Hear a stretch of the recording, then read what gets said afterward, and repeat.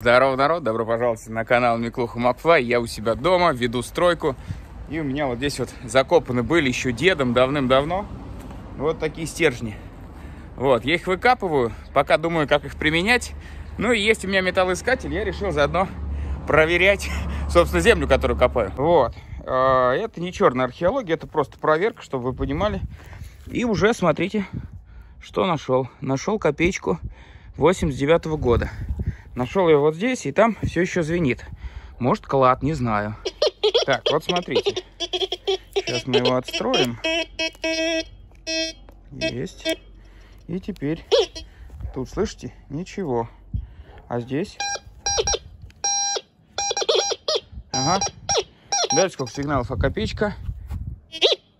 Вот так пищит копеечка. 55-54. А здесь вообще 83-82. Может, золото.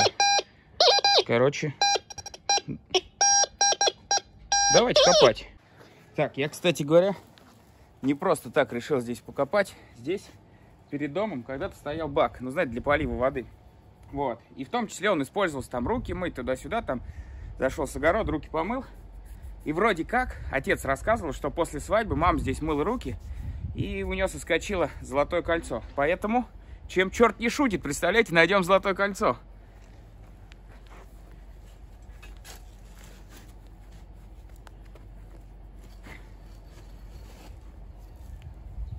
Технология такая. Сейчас накапываю сюда землю, чтобы яме не ковыряться. А потом будем уже проверять наверху.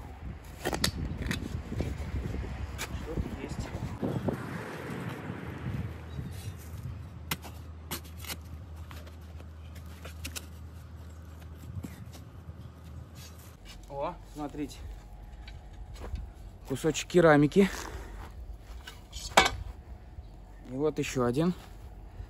Так, чтобы понимали, что за место. Смотрите. Здесь копаю, мой дом. А вот церковь стоит прямо через дорогу. То есть, грубо говоря, здесь, ну, самый центр села.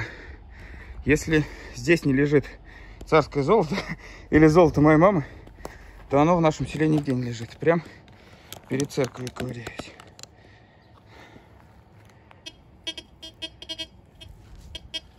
Так. Судя по всему, не вытащил.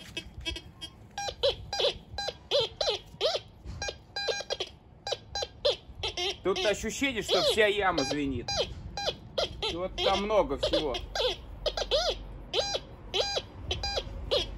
Будем вытаскивать.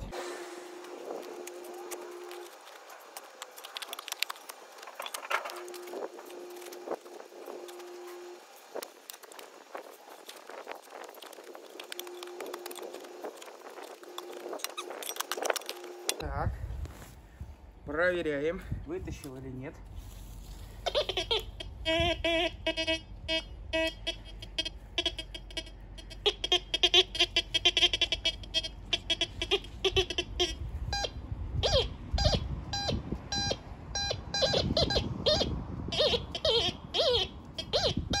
Эта штука все еще в яме. Такое ощущение, что там полная яма цветмета, какого-то ржавого металла. Ну, сейчас вытащим. Короче, я решил вытащить вот эту вот штуку. Это такой же графитовый стержень. И потом уже под ним копать. Потому что пока невозможно. Тем более, я все равно его хотел вытащить. Так что вытаскиваем стержень.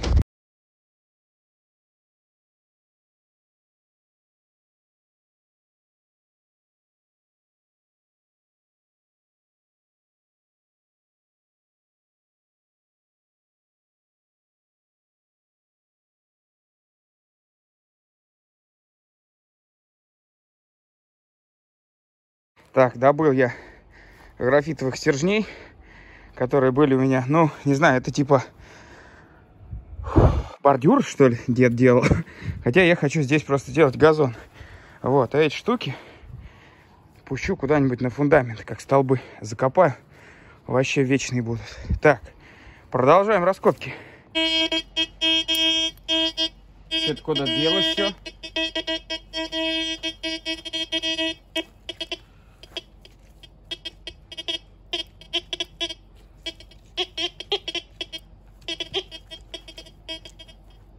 Куда это все делось, народ? Был же сигнал. Может, он на стержень реагировал? Смотрите, он реагировал на, на стержень. И на этот. А этот? Та же самая история. Он реагирует на графит. Прикол. Короче, неизвестно откуда дед взял эти графитовые стержни, и кто бы знал, что они э, фонят. Э, но в любом случае монетку я нашел. У нас еще, смотрите, сколько земли, еще полная тачка. Надо все проверить, поэтому что-нибудь найдем. Ничего. Но монетка-то была. Там что-то есть. Внизу что-то есть. Сейчас будем копать.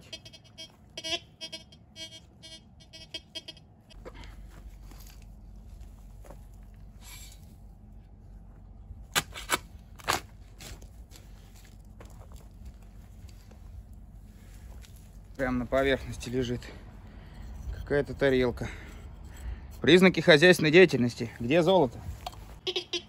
Так, какая-то проволочка.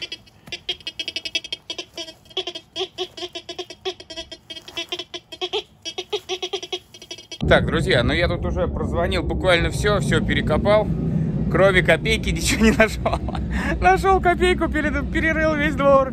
А, так, теперь вопрос такой. Что это за графитовые стержни, друзья? Почему они фонят? А, и вдруг они радиоактивные. Просто я что-то начал гуглить графитовые стержни только что. Там написано, что они на этих... А, как на атомных станциях охлаждают реактор. Вот, может это они, может они радиоактивные. В общем, я не знаю, друзья. Я думал их в фундамент засунуть, а тут что-то подумал, может их выкинуть вообще. Короче, нужен ваш совет, друзья. Напишите в комментариях, что за стержни и что с ними делать. Это был Миклух Макфлай. Ну, такое вот видео у меня получилось сегодня. Не знаю, что это, поиск клада или стройка. Кому что ближе. Подписывайтесь, пишите комментарии обязательно. Ну и пока-пока.